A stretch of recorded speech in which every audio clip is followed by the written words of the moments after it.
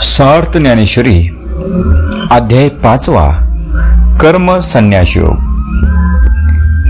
ह्या पाचव्या अध्यायातलं अंतरंग अंतरंगातलं सर्व निरूपण.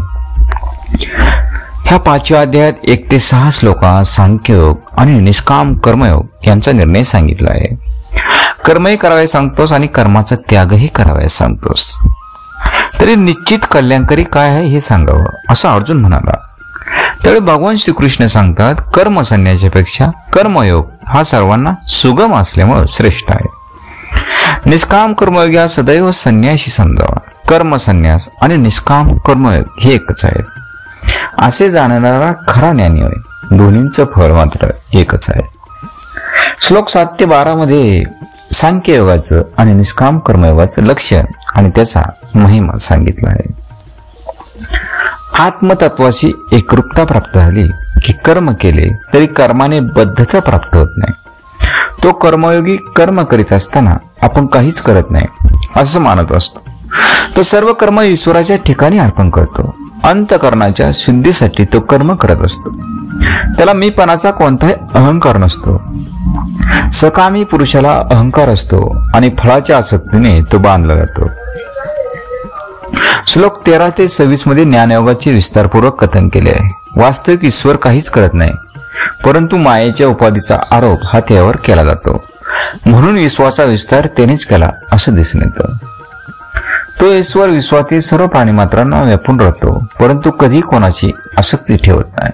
तो कोणाचे पाप अथवा पुण्य घेत नाही. आज्ञानामुळे ज्ञान झाकलं गेलेलं असतं. त्यामुळे आज्ञाने जीव मोहित होतात.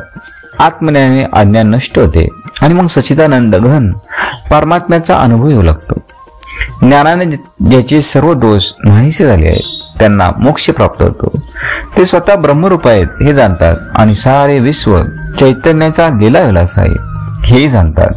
आत्मज्ञानी पंडित ब्राह्मण गाय हत्ती कुत्रा वगैरे सर्वांमध्ये समदृष्टी ठेवणारे असतात.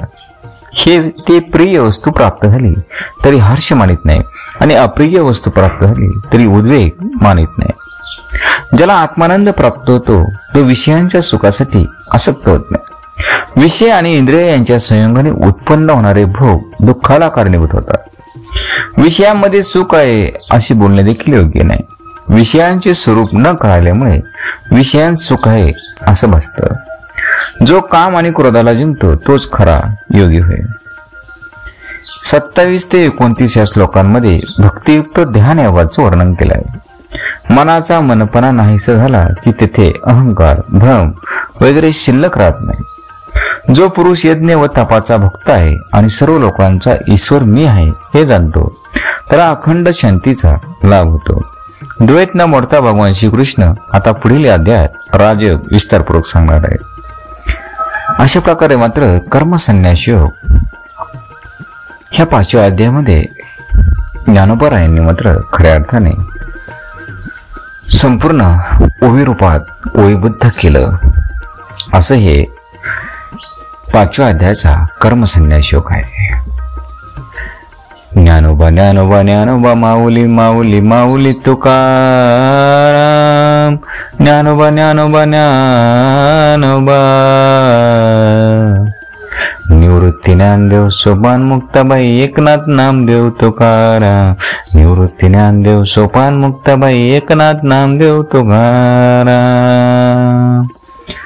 जय विठ्ठल जय हरी विठ्ठल जय विठ्ठल जय हरी.